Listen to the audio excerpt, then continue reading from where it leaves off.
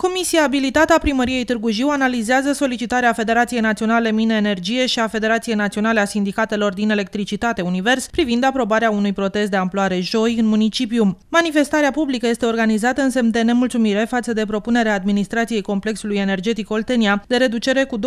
a fondului de salarii și de eliminarea primelor și sporurilor angajaților companiei. Potrivit purtătorului de cuvânt al Primăriei Târgu Jiu, Lavinia Trușcă, solicitarea a fost depusă luni dimineața și anunță participarea unui număr de 5.000 de mineri și energeticieni la protestul, care va începe la ora 17 în fața sediului Diviziei Miniere ACEO din centrul municipiului, urmând să dureze o oră și jumătate. Federația Națională a Sindicatelor din Electricitate Univers a depus astăzi la Legislatura Primăriei Târgu Jiu o solicitare privind organizarea unui meeting în data de 5 februarie 2015 între orele 17-18.30